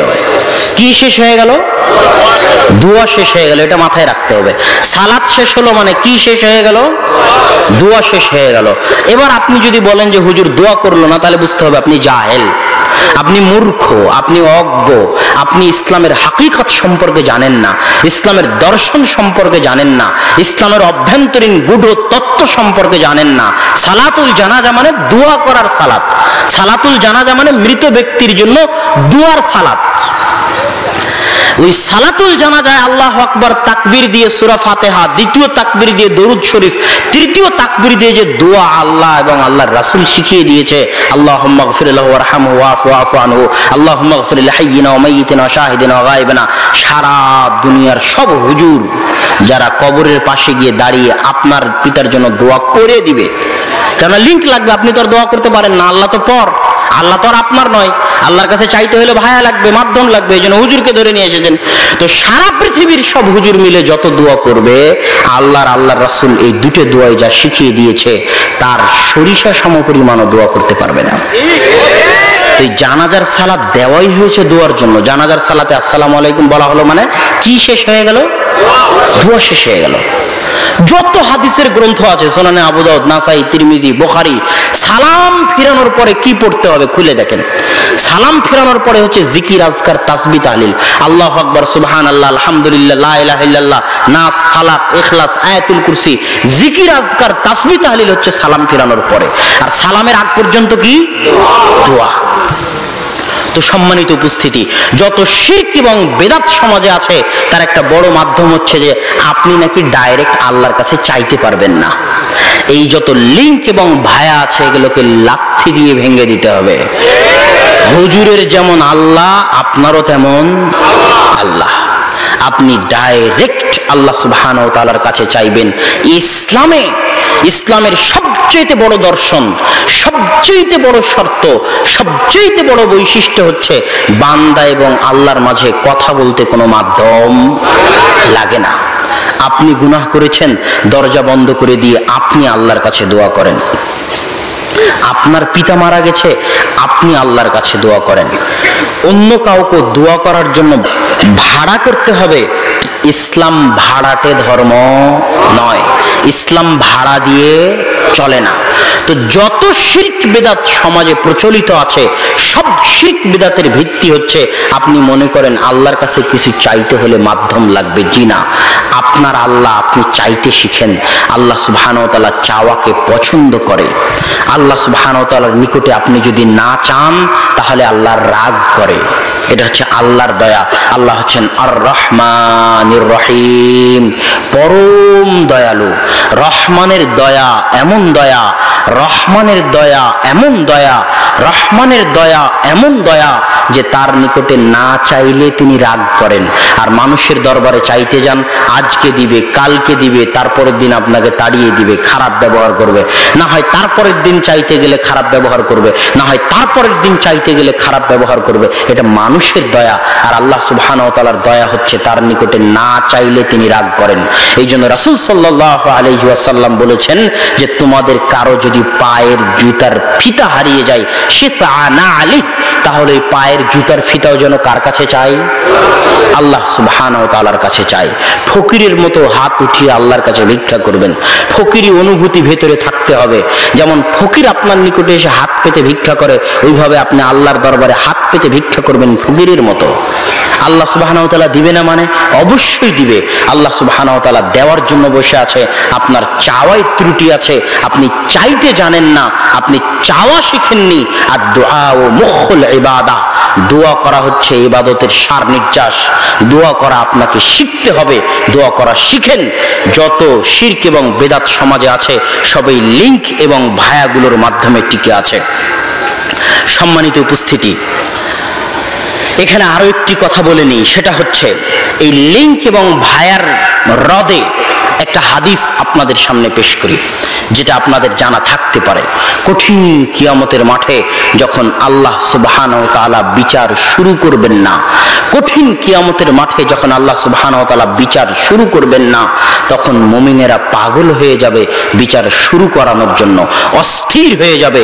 তখন তারা আদম আলাহি সালাতামের নিকটে গিয়ে বলবে, আন্নাল্লাহ খালাকা বিয়ে দি আল্লাহ আপনাকে নিজে হাতে সৃষ্টি করেছে, আপনি একটু আল্লাহকে বলেন না। তখন আল্লাহ, তখন আদম আলাইসাল্লাম বলবেন যে, আজকে আমার প্রতিপালক আমার ওপর এত রাগান্বিত, লাম ইয়াগদাব, এত রাগান্বিত, আগেও কোনোদিন হননি, পরেও কোনোদিন হননি, আমি আল্লাহর সামনে গিয়ে কথা বলতে পারব না। আল্লাহ সুবহানাহু তাআলার গায়রাত আছে, আত্মমর্যাদা আছে। আল্লাহ সুবহানাহু তাআলার গায়রাত আত্মসম্মান বোধ আছে। যে আত্মসম্মান বোধে তার নবীরা তার সামনে কথা বলতে ভয় পাচ্ছেন। তার নবীরা তার সামনে কথা বলতে চাচ্ছেন না। মুসা আলাই সাল্লাম কথা বলবেন না। ঈসা আলাই সাল্লাম কথা বলবেন না। নুহ আলাই সাল্লাম কথা বলবেন না। এবার মোহাম্মদ সাল্লাহ আলহি আসাল্লাম যখন কথা বলতে যাইবে, যাবেন, তখন তিনি কথা বলতে গিয়ে কি সরাসরি কথা শুরু করবেন? না। তখন তিনি সরাসরি সিজদাই পড়ে যাবেন। এটা আল্লাহর হাইবাত এটা আল্লাহ সুবহান তালার আত্মমর্যাদা, যেটা তার নবীরা জানে যে আল্লাহকে চিনে সে অনুভব করতে পারবে, যে হায়বাত কাকে বলে? এই আত্মমর্যাদা বোধ কাকে বলে? আল্লাহ সুবহান তালার এই দাপট, আল্লাহ সুবহান তালার এই আত্ম অহংকার যা একমাত্র তার শানেই মানায়, আর কারও শান, কারও শানে মানায় না। তো এই কঠিন কিয়ামতের মাঠে নবী রাসুল যদি আল্লাহর সাথে কথা না বলতে পারে, তাহলে দুনিয়াতে যারা আপনাকে বলতেছে যে তুমি আল্লাহর সাথে ডাইরেক্ট কথা বলতে পারবা না, আমার মাধ্যম লাগবে। এরা কি কিয়ামতের মাঠে আল্লাহর সামনে দাঁড়াতে পারবে? এদের কি কি সাহস হবে, ক্ষমতা হবে? এই সমস্ত পীর, বাবা অলি আউলিয়া, তাবিজ, কবজ, এদের কারও কি সাহস হবে? কিয়ামতের মাঠে আল্লাহর সামনে দাঁড়িয়ে কথা বলার অসম্ভব। সুতরাং এগুলো হচ্ছে সব মিথ্যা ভুয়া। আল্লাহ সুবহান তালার নিকটে আপনি চাইবেন ডাইরেক্ট এবং সরাসরি। আল্লাহ সুবহান তালা আপনাকে দেওয়ার জন্য বসে আছেন, তিনি দিবেন। সম্মানিত উপস্থিতি, তাওহিদের যেটা সবচেয়ে বড় গুরুত্ব সেটা হচ্ছে তাওহিদ মুসলমানকে সবচেয়ে বেশি মজবুত করে সবচেয়ে বেশি শক্তিশালী করে। এই জন্য সারা পৃথিবী তাওহিদকে ভয় পায়। মুসলমান যদি একবার তাওহিদবাদী হয়ে যায়, তাহলে মুসলমান সবচেয়ে শক্তিশালী। কেন? যে মুসলমান আজকে কবরের সামনে সিজদা করে, যে মুসলমান আজকে তাবিজ কবজ ব্যবহার করে, যে মুসলমান আজকে কুসংস্কারে বিশ্বাস করে, যে মুসলমান আজকে দিবস পালন করে, এই ছেলেরা থার্টি ফার্স্ট নাইট পালন করেনি। এখানে বহু ছেলে যুবক বসে আছে যারা থার্টি ফার্স্ট নাইট গতকাল রাত্রে পালন করেছে। না এরকম ছেলে? অবশ্যই আছে, একশো বার আছে। আমি বলি, এই সমস্ত ছেলেদেরকে উদাহরণ দেওয়ার পরে বলি, তারপর আগের কথায় আবার ফিরে যাচ্ছে, একটা উদাহরণ। একটা উদাহরণ মনোযোগ দিয়ে শোনেন। মনে করেন আপনারা পরীক্ষার হলে বসে আছেন, তিন ঘণ্টার পরীক্ষা। প্রতি ঘন্টায় যে পরীক্ষার যে সুপার হলের, তিনি এইভাবে টেবিলে বাড়ি দিচ্ছেন যে এক ঘণ্টা হলো। দেয় না, বেল বাজায় না। তো যখন এক ঘণ্টার বেল বাজালো, তখন সব ছেলে পেলে ঘড়ির দিকে তাকিয়ে, প্রশ্নের দিকে তাকিয়ে আবার তাড়াহুড়া করে লেখা শুরু করতেছে। কপালের ঘাম ঘেমে যাচ্ছে। যে সময় শেষ হয়ে আসতেছে, কখন লেখা শেষ করব। ওদের মধ্যে একটা ছেলে বেলের আওয়াজ শুনে আনন্দ করতেছে, উৎসব করতেছে, হাসাহাসি করতেছে। দ্বিতীয় ঘণ্টা যখন হলো, তখন অন্য ছেলেদের চিন্তা আরও বেড়ে গেছে, আর ওই ছেলে আরও খুশি হচ্ছে। তৃতীয় ঘণ্টার আগে পনেরো মিনিটের লাস্ট অ্যালার্মিং যখন বেল বাজলো, তখন বাকি সকল ছাত্রের অবস্থা ঘেমে, ক্লান্তে, চিন্তায় জুবুথুবু অবস্থা। আর এই ছেলেটা আনন্দ উল্লাসে ফেটে পড়তেছে। তো একে আপনি কি বলবেন? বোকা, গর্ধব, গাধা, গণ্ড, মূর্খ, জাহেল, কি বলবেন? তো এই ছেলে যেমন মূর্খ, গর্ধব, গাধা, আক্কেল নাই, জ্ঞান নাই গেলু নাই, একে হচ্ছে তুলে ডাস্টবিনে ফেলে দিতে হবে। হচ্ছে অচল, অকেজ হয়ে গেছে, জাতির বোঝা। মানুষ তার নিজের পরিবারের জন্য বোঝা হয়, মানুষ তার নিজের জন্য বোঝা হয়, মানুষ জাতির জন্য বোঝা হয়, মানুষ দেশের জন্য বোঝা হয়। যখন মানুষ প্রভাব বিস্তারকারী ব্যক্তিত্ব হতে না পারে। প্রভাব বিস্তারকারী ব্যক্তিত্ব বুঝেন, স্বামী স্ত্রী বিবাহ করেছে। বিবাহ করার পর দুইজনই প্রত্যেক দিন যদি এক কোটি বার করে আই লাভ ইউ বলে স্বামী স্ত্রী পরস্পরকে এক কোটি বার করে আর স্বামীর মধ্যেও যদি ব্যক্তিত্ব না থাকে আর স্ত্রীর মধ্যেও যদি ব্যক্তিত্ব না থাকে ওই সংসার টিকবে না। ব্যক্তিত্ব মানে আপনার চলা, ফিরা, আদর্শ, আপনার সংস্কৃতি, আপনার আদব, কায়দা, জ্ঞান, গরিমা দেখে আপনার স্ত্রী আপনার কাছ থেকে শিখবে, আপনাকে সম্মান করবে। আর আপনার স্ত্রীর চলা, ফিরা, আদর্শ, জ্ঞান, গরিমা, ব্যক্তিত্ব দেখে আপনি আপনার স্ত্রীকে সম্মান করবেন। এই প্রভাব বিস্তার করতে পারা, মানুষকে প্রভাবিত করতে পারা, এটা প্রত্যেক মুসলিমের বৈশিষ্ট্য। আপনি যদি প্রভাব বিস্তারকারী পিতা না হতে পারেন ব্যক্তিত্ববান পিতা না হতে পারেন, তাহলে আপনার সন্তানদেরকে আপনি নিয়ন্ত্রণে রাখতে পারবেন না। আপনার সন্তান আপনার কথা শুনে না মানে আপনি ব্যক্তিত্বহীন পিতা, আপনাকে তুলে ডাস্টবিনে ফেলে দিতে হবে। আপনি জাতির জন্য বোঝা, পরিবারের জন্য বোঝা। আপনি ব্যক্তিত্ববান স্বামী নন মানে আপনি অকেজ বোঝা। আমি আমার নানাকে দেখেছি, আমার নানার দ্বারা আমি অনেক প্রভাবিত। তিনি একজন প্রভাব বিস্তারকারী ব্যক্তিত্ববান ব্যক্তি ছিলেন। এমন কোনো শুক্রবার দেখিনি যে শুক্রবারে আমার নানা সবার আগে মসজিদে যায়নি। এমন কোন রমাজান দেখিনি যে রমাজানে তিনি এতে কাফ করেননি। এমন কোন সালাত দেখেনি যে সালাত তিনি মসজিদে সবার আগে গিয়ে আজান দিয়ে জামাতের সাথে আদায় করেননি। বহুদিন দেখেছি গরম ভাতে হাত দিয়ে তিনি কেঁদেছেন। তো আমি তার দ্বারা প্রভাবিত মানে তিনি একজন ব্যক্তিত্ববান, আদর্শবান মুসলিম। আর এই যে যুবক যে স্রোতের গায়ে গা ভাসিয়ে দিয়েছে, স্রোত বলতেছে থার্টি ফার্স্ট নাইট করতে হবে, যুগ বলতেছে থার্টি ফার্স্ট নাইট করতে হবে, তাই সেও থার্টি ফার্স্ট নাইট করেছে। তো ওই সমুদ্রে, নদীতে, আপনাদের এলাকায় নদী আছে না? ওই নদীতে পানা ভাসে না, খড়কুটো ভাসে না, ফেনা ভাসে না? ওই পানা, খড়কুটো, ফেনার যেমন কোনো মূল্য নাই, এই যুবকের তেমন কোনো মূল্য নাই। কেন? তার জীবন শেষ হয়ে যাচ্ছে। আল্লাহ তাকে একটা নির্দিষ্ট জীবন দিয়ে পৃথিবীতে পাঠিয়েছে। আপনাকে যদি বলি, আপনার বাড়ি কোথায়? যুবককে বলতেছি, কেননা কথা এখন যুবকের সাথে। তো যুবক যদি বলে যে, আমার বাড়ি নবাবগঞ্জ, দিনাজপুর, তাহলে উত্তর ভুল হবে। যুবকের বাড়ি কোথায়? যুবকের জন্ম যদি উনিশশো তিরানব্বই হয়ে থাকে আর মৃত্যু যদি দুই হাজার হয়ে থাকে, তাহলে যুবকের বাড়ি হচ্ছে উনিশশো তিরানব্বই থেকে দুই হাজার ষাট পর্যন্ত এই সময়টুকু। এই সময়টুকুতে সে দিনাজপুরেও থাকতে পারে, লন্ডনেও থাকতে পারে। সমুদ্রেও থাকতে পারে, মরুভূমিতেও থাকতে পারে। কথা মনে হয় বুঝাতে পারিনি আমি। আপনার বাড়ি হচ্ছে মহাকাল। আল্লাহ যেদিন পৃথিবী সৃষ্টি করেছে সেই দিন থেকে পৃথিবী ধ্বংস হওয়ার মাঝামাঝি একটা সময় আল্লাহ আপনাকে হায়াত দিয়ে পৃথিবীতে পাঠিয়েছে। এই সময়টুকু হচ্ছে আপনার থাকার জায়গা। এই সময় যেই দিন শেষ হয়ে যাবে, আপনিও সেই দিন শেষ হয়ে যাবেন। এই সময়টুকুর মধ্যে আপনি বগুড়াতেও থাকতে পারেন, লন্ডনেও থাকতে পারেন, দিনাজপুরেও থাকতে পারেন। কোনো স্থানের সাথে আপনার বাড়ির সম্পর্ক নয়, সময়ের সাথে আপনার বাড়ির সম্পর্ক। সময়ের সাথে আপনার থাকার সম্পর্ক। একটা করে বছর যাচ্ছে মানে ওই একটা করে সময় শেষ হচ্ছে। আপনি মৃত্যুর দিকে এগিয়ে যাচ্ছেন। পরীক্ষার হলে বসে থাকা যুবক যেমন পরীক্ষার সময় শেষ হওয়া দেখে আনন্দ করে, ওই যুবক যেমন বোকা, ওই যুবক যেমন গর্ধব, ওই যুবক যেমন গাধা, ঘেলুহীন, ডাস্টবিনে ফেলে দেওয়ার যোগ্য যারা থার্টি ফার্স্ট নাইট পালন করে। এখানে যত যুবক উপস্থিত আছে, তাদের সকলকে লক্ষ্য করে বলতেছি, তারা যদি থার্টি ফার্স্ট নাইট পালন করে থাকে, তাহলে তারা ওই পরীক্ষার হলে বসে থাকা ছেলের চাইতেও বোকা, ওই পরীক্ষার হলে বসে থাকা ছেলের চাইতেও গাধা, গর্ধব, মূর্খ, ঘেলুহীন এদের থাকার জায়গা ডাস্টবিন এরা সমাজে আর থাকতে পাওয়ার মতো যোগ্যতা এদের মাঝে নাই। এই জন্যই আব্দুর রাজ্জাক বিন ইউসুফ বহু বক্তব্যে বলেছে যে, যুবক, তোমাকে, তোমার মাস্টারকে যে ডক্টরেট ডিগ্রি পাশ করেছে, অক্সফোর্ড থেকে তাকে যদি জাহেল মূর্খ প্রমাণ করতে না পারি, তাহলে জাতির সামনে বক্তব্য দিব না। আর এই যে আমি জাহেল মূর্খ প্রমাণ করে দিলাম।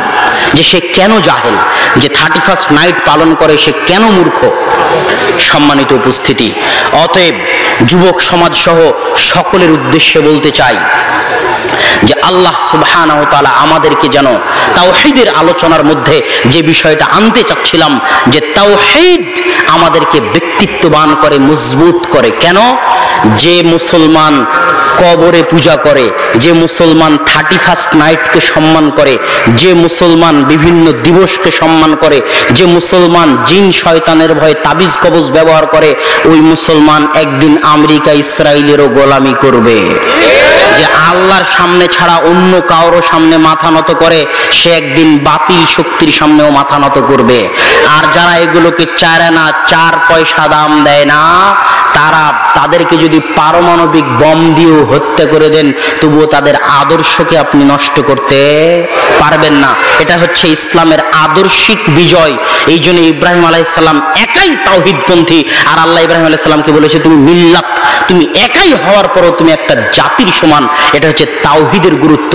তাওহিদ যেই দিন মুসলমান বুঝে নিবে, সেই দিন মুসলমান, এক তাওহিদপন্থী মুসলমান সারা পৃথিবীর সব পারমাণবিক বমের চেয়ে শক্তিশালী হয়ে যাবে। তাওহিদ যেই দিন মুসলমান বুঝে নিবে। অতএব দেশ, জাতি, সকলের প্রতি এই সংক্ষিপ্ত আলোচনার মধ্যে আমি এতটুকুই অনুরোধ করতে চাইব যে আসুন আমরা তাওহিদের চর্চা করি, তাওহিদ বুঝি, তাওহিদের শেষ প্রকারের উপর সংক্ষিপ্ত কথা বলে আমার বক্তব্য শেষ করব। তাওহিদের শেষ প্রকার হচ্ছে তাওহিদুল আসমা সিফাত। প্রথম প্রকার আল্লাহকে রব হিসেবে মানা, ওটার ব্যাখ্যা চলে গেছে। আল্লাহকে ইলা হিসেবে মানা, ওটার ব্যাখ্যাও হয়ে গেল। সবাই রব হিসেবে মানে কিন্তু সবাই ইলা হিসেবে মানে না। এবার আসমা সেফাত কেন লাগবে? আল্লাহ যে কে, এটা তো আপনাকে চিনতে হবে। আপনি কি আল্লাহকে চিনেন? আপনি কি আল্লাহকে জানেন? আপনি কি আপনার সৃষ্টিকর্তা সম্পর্কে কোনোদিন পড়েছেন? আপনার সৃষ্টিকর্তা সম্পর্কে কোনোদিন কি জানার চেষ্টা করেছেন? আপনার সৃষ্টিকর্তা কে কে তিনি, তার পরিচয় কি, এটা যদি আপনি জানতে চান, তাহলে আসমা ও সিফাত, আল্লাহর নাম আছে, আল্লাহর গুণাবলী আছে, সেগুলো আপনাকে পড়তে হবে এবং জানতে হবে। নাম এবং গুণাবলীর গুরুত্ব সম্পর্কে দু একটা আয়াত এবং হাদিস বলে আজকের বক্তব্যের এখানেই ইতি টানবো। ইনশা আল্লাহুল আজিজ, আয়াতুল কুরসি সম্পর্কে রাসুল সাল্লাহ আলহি ওয়াসাল্লাম বলছে, মান কারা আয়াতুল কুরসি দুবুরা কুল্লে সালাতিন কেউ যদি আয়াতুল কুরসি পাঠ করে পাঁচ অক্ত সালাতের পরে তাহলে জান্নাতে যেতে তাকে কিছুই বাধা দিবে না। তার মৃত্যু ছাড়া সে মরলেই জান্নাতে যাবে। সে মরলেই জান্নাতে যাবে। এই আয়াতুল কুরসির মধ্যে কি আছে? প্রথম থেকে নিয়ে শেষ পর্যন্ত পড়ে দেখেন তো। আয়াতুল কুরসির মধ্যে কি আছে? সিয়ামের কথা নাই, হজ জাকাতের কথা নাই, পরকালের কথা নাই, জান্নাত জাহান্নামের কথা নাই। শুরু থেকে শেষ পর্যন্ত শুধুই শুধু শুধুই শুধু আল্লাহ ওয়া নাম, তার পরিচয়, তার গুণাবলী আছে। আল্লাহ ইলাহা ইল্লাহুল হাইয়ুল কাইয়্যুম লা তাখুযুহু সিনাতুন ওয়ালা নাওমুন লাহু, মা ফিস সামাওয়াতি ওয়াল আরজ। এই যে লাহু মা ফিস সামাওয়াতি ওয়াল আরজ এর মানে কি? সম্পূর্ণটুকু ব্যাখ্যা করার হয়তো সময় নাই। আল্লাহ বলছেন, আসমান এবং জমিন এবং তার মাঝে যা কিছু আছে সবই আমার। আর আরাক আয়াতে আল্লাহ বলছেন, ইউসাব্বিহু লিল্লাহি মা ফিস সামাওয়াতি ওয়াল আরজ। আসমান, জমিন এবং তার মাঝে যা কিছু আছে সবই আল্লাহর তাসবিহ পাঠ করে। আল্লাহ যদি বলতেন, ইউসাব্বিহু মান ফিস সামাওয়াতি ওয়াল আরজ, আসমান এবং জমিনে যদি মান মান আরবি শব্দটি আল্লাহ ব্যবহার করতেন, তাহলে বুঝতাম আসমান জমিনে যাদের বুদ্ধি আছে, যাদের প্রাণ আছে, যাদের বিবেক আছে, একমাত্র তারাই আল্লাহর তাসবি পাঠ করে। কিন্তু আল্লাহ বললেন ইসব লাহু মা আসমান এবং জমিনে মা মানে যত জীব, জন্তু, জড় পদার্থ, বস্তু, এই মাইক, এই জুব্বা, এই খাতা, এই টেবিল, এই আসমানের নিচে জমিনের উপরে যত ধুলিকণা, বালিকণা, স্বয়ং আসমান, স্বয়ং জমিন, স্বয়ং পাহাড়, স্বয়ং গাছ, এর মাঝে যা কিছু আছে, প্রত্যেক ধুলিকণা, বালিকণা আল্লাহর তসবি পাঠ করে। কেন বিশ্বাস হয় না? বিশ্বাস হয়। দলিল দিব। আল্লাহ তাআলা যখন ইব্রাহিম আলাইহিস সালাতু ওয়াস সালামকে আগুনে নিক্ষেপ করা হলো, তখন আল্লাহ বললেন ইব্রাহিম। হে আগুন, তুমি ইব্রাহিমের জন্য ঠান্ডা হয়ে যাও। আগুনের কি জীবন আছে? আগুনের কি প্রাণ আছে? আগুন তো জড় বস্তু। তো আগুন কি ঠান্ডা হয়নি? মুসা আলাইহি সালাম যখন নদী পার হলেন, তখন লাঠি নিক্ষেপ করলেন, নদী রাস্তা তৈরি করে দিল। তুই সমুদ্রের পানির কি জীবন আছে? তো জড় বস্তু। জলোচ্ছ্বাস পানি দিয়ে হয়। পানির কি জীবন আছে? একশো পঞ্চাশ, দুইশো কিলোমিটার গতিতে বাতাস প্রবাহিত হয়। বাতাসের কি জীবন আছে? আট রিক্টার স্কেলে, নয় রিক্টার স্কেলে জমিন কেঁপে ওঠে, মাটি কেঁপে ওঠে। মাটির কি জীবন আছে?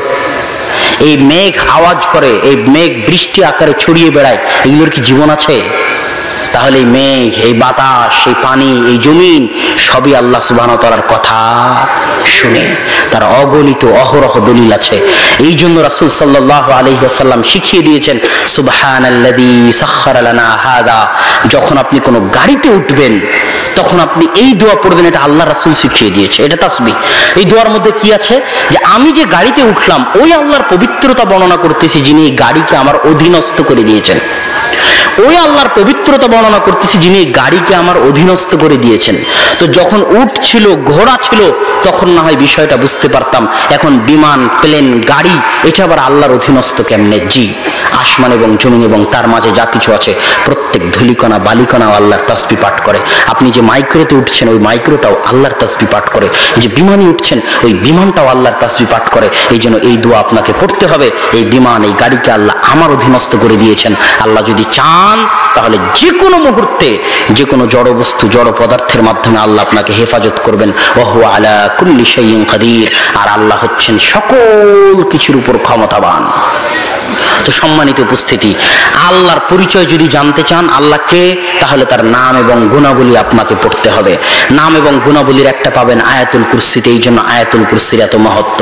আর একটা পাবেন সুরাতুল ইখলাসে, আল্লাহ রাসুল বলছেন, কেউ যদি সুরাতুল ইখলাস একবার পড়ে তা আদিল সুলুতাল কোরআন, তাহলে সে যেন কোরআনের তিন ভাগের এক ভাগ পড়ল।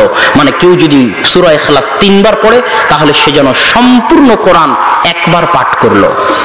কেন এত মহত্ব সুরাতুল ইখলাসের? সুরাতুল ইখলাসে কিছু নয়। শুরু থেকে শেষ পর্যন্ত শুধু আল্লাহর মহত্ব, আল্লাহর বরত্ব বর্ণনা করা আছে যে আল্লাহ কে? আল্লাহর পরিচয় বর্ণনা করা আছে। আল্লাহ সুবহানাহু ওয়া তাআলা পবিত্র কোরআনে বলেছেন, ওয়ালিল্লাহিল আসমাউল হুসনা, ফাদউহু আসমা। আল্লাহ ওয়া তাআলার 99টা নাম আছে, মান আহসাহা দাখালাল জান্নাহ কেউ যদি আল্লাহর 99টা নাম আয়ত্ত করে নেয়, দাখালাল জান্নাহ সে জান্নাতে চলে যাবে। সম্মানিত উপস্থিতি, এগুলো প্রত্যেকটা আয়াত এবং হাদিসের ব্যাখ্যা আছে, আমি আপনাকে এতটুকুই বুঝাতে চাইলাম তাও হেদের আলোচনায় যে আল্লাহর পরিচয় জানতে চাইলে আল্লাহর নাম এবং গুণাবলী সম্পর্কে আপনাকে জানতে হবে এবং পড়তে হবে। দুই, আল্লাহ সুবাহানতালাকে রব হিসেবে মানতে হবে। তিন, যিনি রব, একমাত্র তিনি আপনার। আপনি যদি একটাও সিজদা করেন সারা জীবনে, একটা সিজদা যদি করেন সারা জীবনে, তো ওই একটা সিজদা পাওয়ার হক আপনার রব, আল্লাহ রাখে যিনি আপনার ইলা আপনি যদি একটা চুলো আল্লাহর রাস্তায় দান করেন তো একটা চুলো পাওয়ার হক রাখেন, আপনার ইলাহ কোনো মাজার, কোনো দরবার শরীফ নয়।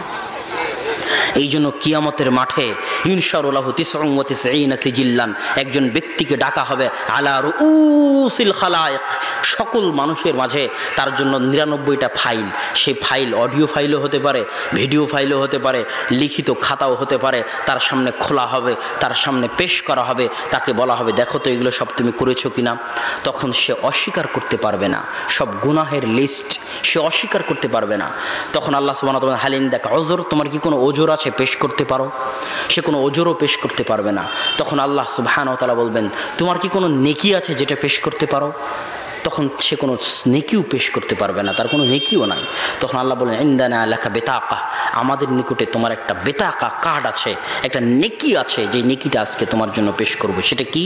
সেটা হচ্ছে তাওহিদ। তুমি হয়তো গুনাহ করেছ ঠিকই, গুনাহ করেছ হয়তো ঠিকই, কিন্তু তুমি কোনোদিন আল্লাহ ব্যতীত অন্যের সামনে মাথা নত করনি।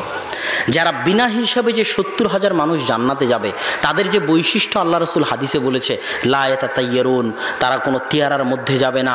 এই যে আল্লাহ রসুল সাল্লাহ সাল্লাম তাদের যে বৈশিষ্ট্যটা বলেছে, এই বৈশিষ্ট্যর সারমর্ম হচ্ছে পৃথিবীতে যারা সর্বোচ্চ পর্যায়ের তাওহিদপন্থী হবে, পৃথিবীতে যারা সর্বোচ্চ স্তরের তাওহিদপন্থী হবে, তারা বিনা হিসাবে জান্নাতে যাবে। যে সত্তর হাজার মানুষ কে আল্লাহ সুবাহানতালা বিনা হিসাবে জান্নাতে দিবেন, তারা আসলে সর্বোচ্চ পর্যায়ের তাওহিদপন্থী মানুষ। তারা কোনোদিন আল্লাহ ব্যতীত কোনো কুলক্ষণও গ্রহণ করেনি। তারা কোনোদিন তাবিজও ব্যবহার করেনি। তারা কোনোদিন জিনের কাছেও যায়নি। তারা কোনোদিন শয়তানের আশ্রয়ও নেয়নি। তারা কোনোদিন মানুষের আশ্রয়, মানুষের ইবাদত করাও কিন্তু শির্ক। যেমন, মানুষের ইবাদত আপনি কীভাবে করবেন? মানুষ আপনাকে বলতেছে যে, তুমি যদি এটা না করো, তাহলে এটা করো। তুমি যদি দাড়ি না কাটো, তাহলে চাকরি ছাড়ো। তখন আপনি মানুষের ভয়ে দাড়ি পরিত্যাগ করে দিলেন। তাই নয় কি? আপনি মানুষের নিকটে চাচ্ছেন যে আপনি আমাকে সহযোগিতা করেন, আপনি আমাকে বাঁচান, বিপদে পড়ে। কিন্তু আল্লাহ সুবাহান তালার নিকটে চান না। তার মানে আপনি এখনও পূর্ণাঙ্গ তাওহিদপন্থী মুমিন হতে পারেননি। পূর্ণাঙ্গ তাওহিদপন্থী মুমিন অনেক ব্যক্তিত্ববান, অনেক ভারাত্মপূর্ণ। তাওহিদ মানুষকে যতটা ব্যক্তিত্ব দিতে পারে, যতটা ভারাত্ম দিতে পারে, যতটা মর্যাদা দিতে পারে, পৃথিবীর আর কোনো বস্তু ততটা দিতে পারে না। তাওহিদ আপনাকে ভাঙতে দিবে না কোনো দিন আপনি কোনো দিন ভেঙে পড়বেন না, কেননা আপনার সাথে আল্লাহ আছে। তাওহিদ থাকলে আপনার মধ্যে কোনো দিন রিয়া আসবে না। রিয়া বুঝেন তো? কোনোদিন রিয়া আসবে না। এখলাস থাকবে যদি আপনি পূর্ণাঙ্গ তাওহিদপন্থী মুমিন হতে পারেন। তাহলে আপনার সালাদ সিয়াম, হজ জাকাত এবাদত সবই হবে আল্লাহর সন্তুষ্টির জন্য। আর যদি সামান্য পরিমাণ রিয়া আসে, তাহলে আপনি পূর্ণাঙ্গ তাওহিদপন্থী থেকে কেটে গেলেন। মানে বিনা হিসেবে যারা জান্নাতে যাবে, ওই সত্তর হাজার থেকেও কেটে গেলেন। তো ওই সত্তর হাজারের মধ্যে ঢুকার সবচেয়ে বড় শর্ত হচ্ছে, সেটা কি? সেটা হচ্ছে আপনাকে পূর্ণাঙ্গ সর্বোচ্চ পর্যায়ে তাওহিদপন্থী মুমিন হতে হবে। সম্মানিত উপস্থিতি, আল্লাহ সুবহানাও তালা আমাদেরকে, আমাদের যুবকদেরকে তাওহিদপন্থী হওয়ার তৌফিক দান করুক। আল্লাহ আমিন। বক্তব্যের শেষে চলে এসেছি, কিন্তু যে কথাটা আমি সব জায়গাতেই বলি বক্তব্যের শেষে, সেই কথাটা এখানেও বলি বলে শেষ করি, সেটা হচ্ছে মা এবং বোনদের উদ্দেশ্যে। মা এবং বোনেরা হচ্ছে আমাদের সবচেয়ে বড় সম্পদ। সারা পৃথিবীতে ওই যে আব্বুর কথাটা ইহুদি পরিকল্পনা করে টাকা দেয় খ্রিস্টান মাঠকর্মী মুসলমান, এই বাক্যকে আপনি যেখানে ইচ্ছা সেখানে ফিট করতে পারবেন। তো সারা পৃথিবীর ইহুদি খ্রিস্টানদের পরিকল্পনা হচ্ছে মুসলমান মা এবং বোনদেরকে ঘর থেকে বের করে নিয়ে যাওয়া। তুমি বেকার, তুমি বাড়িতে বসে আছো, তুমি হাউস ওয়াইফ চাকরি বাকরি করতে হবে, রাস্তায় আসো, অধিকার নিতে হবে, বেপর্দা হয়ে চলতে হবে সব কিছু এই যে তাকে বাইরে বের করে নিয়ে আসা, বেপর্দার মধ্যে পরিচালনা করা, এটা একটা পরিকল্পনার অংশ। এটা একটা পরিকল্পনার অংশ। এই জন্য সব জায়গায় দেখবেন মেয়ে। এখন যদি সৌদি আরবও যান, তবুও দেখবেন যে ওই যেখানে রিসিপশন সেখানে দেখবেন সৌদিতে এখন মেয়েরা বসে আছে। এটা ইহুদি খ্রিস্টানদের পরি, বৃহৎ পরিকল্পনার অংশ। মুসলমানদের মেয়েদেরকে বাড়ি থেকে বের করে নিয়ে আসো। কেন? মুসলমানদের মেয়েরা যদি খারাপ হয়ে যায়, মুসলমানদের মেয়েরা যদি নষ্ট ধ্বংস হয়ে যায়, তাহলে এই জাতিকে ধ্বংস করার জন্য আর কিছু লাগবে না। যে মেয়ে বেপর্দা হয়ে চলে, যে মেয়ে অপবিত্র হয়ে গেছে, যে মেয়ে প্রেম প্রীতি করে, সেই মেয়ের পেট থেকে সালাহুদ্দিন আইবির জন্ম হতে পারে না। সেই মেয়ের পেট থেকে মোহাম্মদ বিন জিয়াদ, তারিক বিন জিয়াদ, মোহাম্মদ বিন কাসেম, এদের জন্ম হতে পারে না। অমর ইবনুল খাত্তাব, ইমাম বুখারি, ইমাম মুসলিমের জন্ম হতে পারে না। সারা বাংলাদেশের সব মেয়ে যদি রাস্তায় বের হয়ে গার্মেন্টসে গিয়ে কাজ করে কাজ করে জাতির যতটা না উপকার করতে পারবে, একটা মেয়ে যদি ঘরে বসে একজন সৎ, আদর্শবান, ব্যক্তিত্ববান ছেলে মানুষ করে যেতে পারে, তো ওই ছেলে তাদের চাইতে হাজার গুণ বেশি জাতির উপকার করতে পারবে। সম্মানিত উপস্থিতি। এই জন্য মেয়েদেরকে তাদের গুরুত্ব বুঝতে হবে এবং আপনার মধ্যে গায়ের আত্মমর্যাদা থাকতে হবে। আল্লাহ হচ্ছেন সবচেয়ে বড় গায়ুর আত্মমর্যাদা সম্পন্ন। আপনার মধ্যে কি গায়েরাত থাকতে হবে? শুকুরকে দেখবেন যে শুকুর আর এক শুকুরের পিছন থেকে চেটে তার গু চাটে এবং খায়। কেন? শুকুরের মধ্যে গায়েরাত নাই। এই জন্য শুকুরের গোস্ত যারা খায়, শুকুরের চর্বি যারা খায়, তাদের মধ্যে আত্মমর্যাদা বোধ নাই। তাদের স্ত্রী, তাদের মেয়ের সাথে যদি অন্য কেউ তাদের চোখের সামনেও জেনায় লিপ্ত হয় তবুও তাদের ভিতরে কোনো অনুভূতি সৃষ্টি হয় না। কেননা তারা শুকুরের গোস্ত খায়, আর শুকুরের মধ্যে আত্মমর্যাদা নাই। কিন্তু উটের মধ্যে সবচেয়ে বেশি আত্মমর্যাদা আছে, উট এটা সহ্য করতে পারে না। আর আল্লাহ সুবাহানতালা সবচেয়ে বড় গাইয়ুর তো আপনি মোহরানা দিয়ে বিবাহ করে এনেছেন, আপনার বউকে আর একজন দেখবে, আপনার মেয়েকে আপনি খাওয়ান পরান, আর আপনার মেয়ে রাস্তায় বেহায়া বেলেল্লাপনা হয়ে চলবে। এটা যদি আপনার সহ্য হয়, তার মানে আপনার শরীরে আর কোনো রক্ত নাই। সব কি হয়ে গেছে? পুজ হয়ে গেছে। মানে আপনি এখন আত্মমর্যাদা সম্পন্ন পুরুষ নন। এই জন্য আল্লাহ রসুল আপনার ক্ষেত্রেই বলেছে লায়দুল জান্নাতা দায়ুস। দায়ুস জান্নাতে যাবে না। দায়ুস মানে কি? যার আত্মমর্যাদা নাই। দিয়াসা, যার মধ্যে দিয়াসা আছে। শুকুরের মধ্যে সবচেয়ে বেশি দিয়াসা আছে। আত্মমর্যাদা নাই আত্মসম্মান বোধ নাই। যার তার সাথে গিয়ে মিলে, যার তার সাথে গিয়ে দেখা করে। তো আপনার মধ্যে আত্ম আত্মমর্যাদা বোধ আনতে হবে। আপনার ছেলে, আপনার মেয়ে, আপনার স্ত্রী, তাদের সম্পর্কে আপনার মধ্যে আত্মসম্মান বোধ থাকতে হবে। পর্দার মধ্যে আত্মমর্যাদা আছে, পর্দার মধ্যে আত্মসম্মান আছে। মেয়েরা প্রদর্শনের বস্তু নয়, মেয়েরা বিক্রিযোগ্য নয়। আদম সন্তানের কোনো অঙ্গই বিক্রিযোগ্য নয়। আপনি চুল বিক্রি করতে পারবেন না। কেননা এটা আদমের শরীরের অংশ, এর সম্মান আছে। আপনি কিডনি বিক্রি করতে পারবেন না, দান করেন, বিক্রি করতে পারবেন না।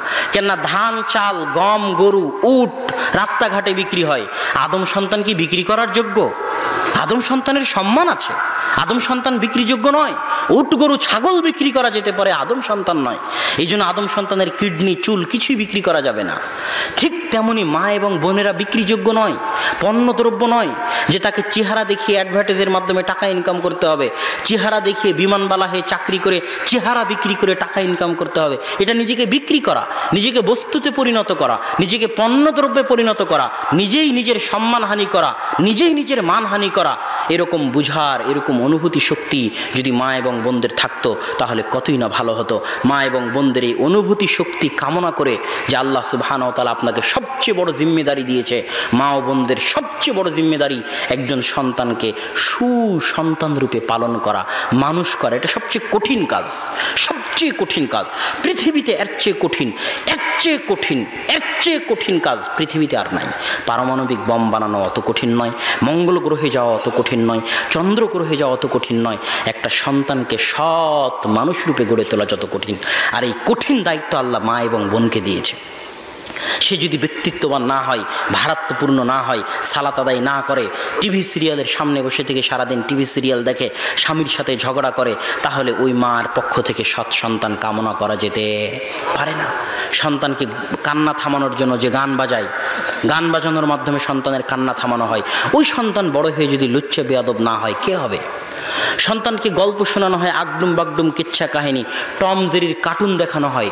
তাহলে সন্তান কেমনে আদর্শবান হবে? সন্তানকে আদর্শবান করতে হলে ইব্রাহিম আলাই সালাতামের কাহিনী শোনাতে হবে। সন্তানকে আদর্শবান করতে হলে মুসা আলাহি সালাতামের কাহিনী শোনাতে হবে।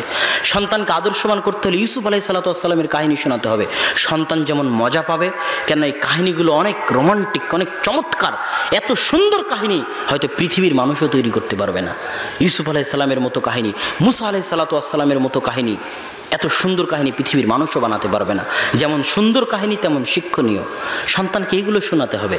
তো সন্তান লালন পালন করার ক্ষেত্রে মা এবং বোনদেরকে আরও সচেতন আরও চৌকস আরও ব্যক্তিত্বপূর্ণ আরও ভারাত্মপূর্ণ হতে হবে। যুবক, মা এবং উপস্থিত সকল মুসল্লির প্রতি পূর্ণাঙ্গভাবে তাওহিদপন্থী, ব্যক্তিত্ববান, ভারাত্মপূর্ণ, আত্মমর্যাদা সম্পূর্ণ হওয়ার আহ্বান জানিয়ে এবং আমার জন্য দোয়া চেয়ে আমি আমার বক্তব্য শেষ করতেছি। ও আখের দাওয়া দাওয়ানা আনিল রবিল আলমিন। আসসালামু আলাইকুম আ রহমতুল্লাহি অবরাকাত আলহামদুলিল্লাহ। আব্দুল্লাহ